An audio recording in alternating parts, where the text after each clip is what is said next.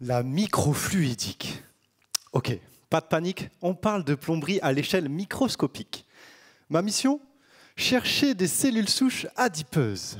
Encore un mot compliqué cette fois pour parler des cellules du gras. Et mon problème, elles ne devraient pas être dans le sang. Mais elles y sont. Enfin, a priori. Ma situation pourrait s'apparenter à celle d'un chercheur d'or à la recherche d'une pépite, la cellule souche adipeuse, dans une rivière californienne, le vaisseau sanguin. Sauf qu'on ne sait pas vraiment si la dite pépite est dans la dite rivière. On ne connaît pas non plus exactement sa taille, sa forme, et elle pourrait très bien circuler de manière indépendante ou agglutinée à la boue de la rivière, présente en grande quantité, à l'image des globules dans le sang. Pour couronner le tout, ces cellules n'ont pas de biomarqueurs spécifiques, c'est-à-dire qu'elles n'ont pas de passeport bien défini permettant de venir les identifier directement.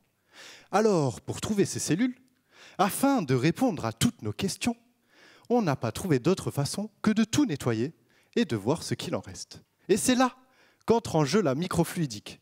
Avec, on peut filtrer jusqu'à 99% des globules rouges. Mais il reste encore les globules blancs. Et c'est sur eux que ma thèse se concentre. Donc pour mener à, bien, ma recherche, je suis amené à travailler sur des tout petits laboratoires capables de travailler avec précision et à l'échelle de la cellule humaine.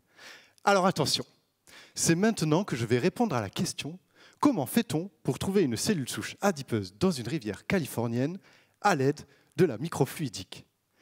Donc, notre échantillon sanguin, déjà bien épuré par le retrait des globules rouges, est passé dans ce qu'on appelle un laboratoire sur puce. Dans ce tamis high-tech, l'eau de notre rivière va circuler dans des micro-canalisations et c'est sur cette micro-plomberie que je vais venir greffer des molécules pour former comme un scratch moléculaire. Ce scratch, il aura pour particularité de capturer les globules blancs, la boue, les cailloux, tout en laissant circuler nos cellules souches adipeuses, les pépites d'or. Sauf que des globules blancs, il en reste un paquet. Et s'ils viennent tous s'agglutiner sur mes toutes petites canalisations, je risque de former un barrage. N'étant pas un castor mais un chercheur d'or, je souhaite que l'eau de la rivière continue de s'écouler. Alors le challenge lors de ma thèse va être de créer un scratch qui colle juste assez pour capturer les globules blancs, mais pas trop pour pouvoir les laisser rouler le long de mes canalisations. Grâce à ce roulement, on espère pouvoir dévier et donc retirer les globules blancs de notre échantillon sanguin afin de ne garder que les fameuses cellules souches adipeuses. La présence de ces cellules dans le sang pourrait même nous permettre de diagnostiquer certaines maladies telles que le diabète de type 2. Merci.